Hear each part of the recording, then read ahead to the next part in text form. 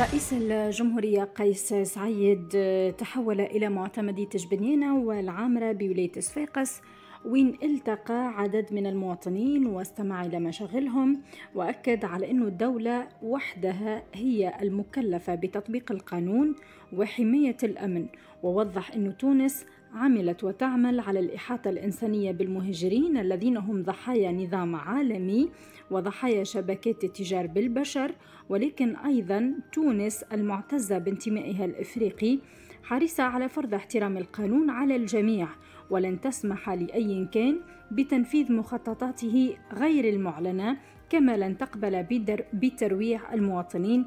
وكانوا المواطنين يعني تشكوا من حالة الترويع اللي تصير لهم ومن المشاكل ومن الاعتداء على يعني غابة الزيتون في هذه المناطق. رئيس الدولة وفي هذا اللقاء شدد على أن تونس ليست سببا فيما يقع للمهاجرين. الذي جيء بهم من قبل أطراف هدفها غير المعلن هو التوطين.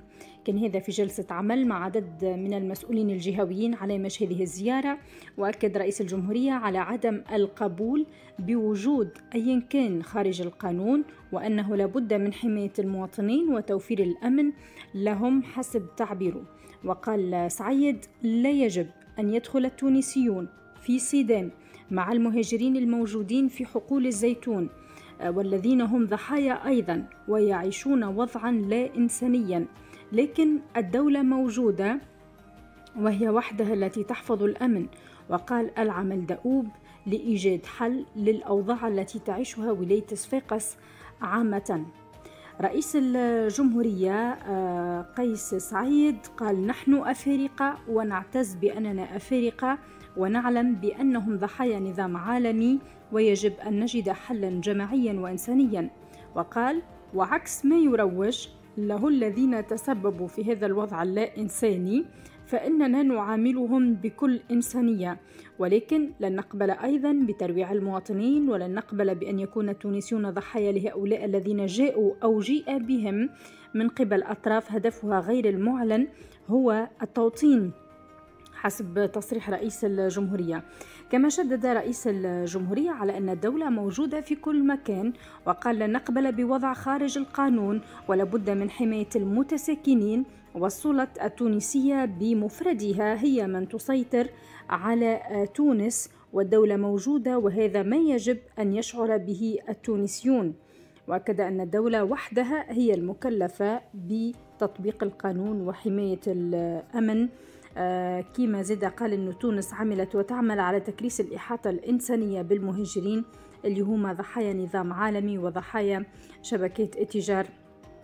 بالبشر ورئيس الجمهورية تحدث مع عدد من المواطنين اللي عبروا على تخوفاتهم وعبروا آه، طلبوا من رئيس الجمهورية حمايتهم ورئيس الجمهورية أكد لهم أنه زيارته وتواجده بيناتهم هو رسالة طمأنة ليهم ورسالة طمأنة ليهم أنه الدولة آه، معناها حسبيهم ودولة قائمة ودولة ستحميهم.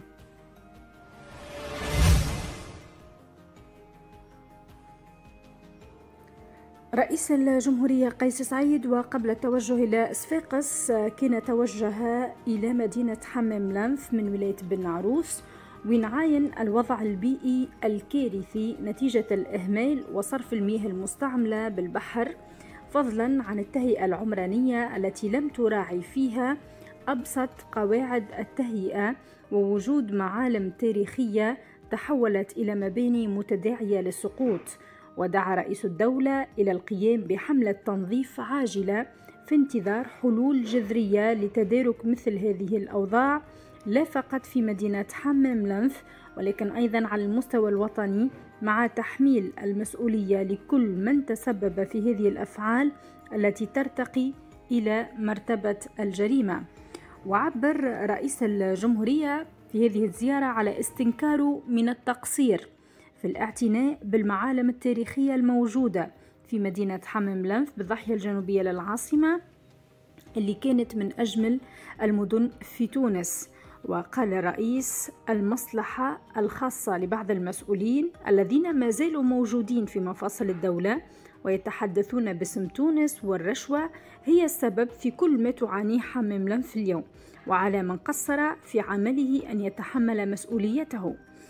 أما بخصوص الاتفاقية التي تم إمضاؤها بين القطاعين العام والخاص للاعتناء بالمعالم في المدينة وتنظيف الشواطئ قال رئيس الدولة الشراكة بين القطاعين العام والخاص هي كذبة كبرى عن أي شراكة يتحدثون. هي مصطلحات زائفة هي شراكة بين لوبيات آه، فقط. رئيس الجمهورية دعا إلى حملة تنظيف عاجلة في انتظار حلول جذرية لمثل هذه الأوضاع.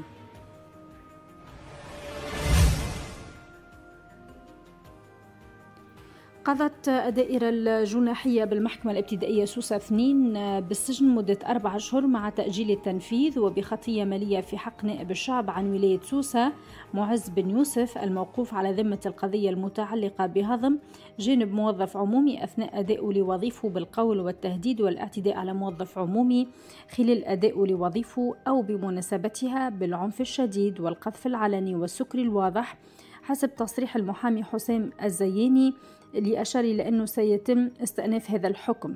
وعاد الأستاذ الزياني على تفاصيل الواقعة هذه اللي تعود إلى نشوب خلاف بين النائب وسائق تاكسي.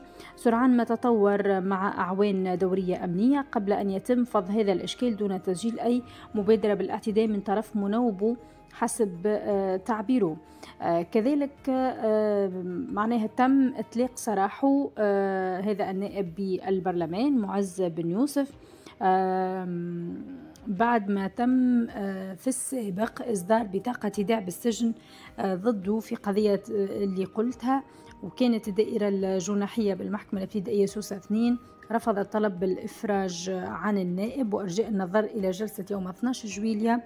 وحسب آه، الدستور 65 الفصل 65 فإنه لا يمكن تتبع أحد النواب أو إيقافه طيلة مدة نيابته. آه، بسبب تتبعات جزائية ما لم يرفع عنه مجلس نواب الشعب الحصانة أما في حالة التلبس آه، بالجريمة فإنه يمكن إيقافه ويتم إعلام المجلس حالا ويستمر الإيقاف إذا رفع المجلس الحصانة وخلال عطلة المجلس يقوم مكتبه ما قاموا. أكد الأستاذ المحامي التومي بن فرحات عضو هيئة الدفاع عن المرحوم عمر العبيدي مشجع النادي الإفريقي صدور أحكام استئنافية تقضي بالتنزيل في العقوبة ضد 12 عون أمن بتهمة القتل غير العمد إلى سنة واحدة مع تأجيل التنفيذ مع الإبقاء على نفس الأحكام السابقة بعدم سماع الدعوة في القضية الثانية المتعلقة بعدم إنجاد شخص في حالة خطر وعدم سماع الدعوة في حق أمنيين آخرين.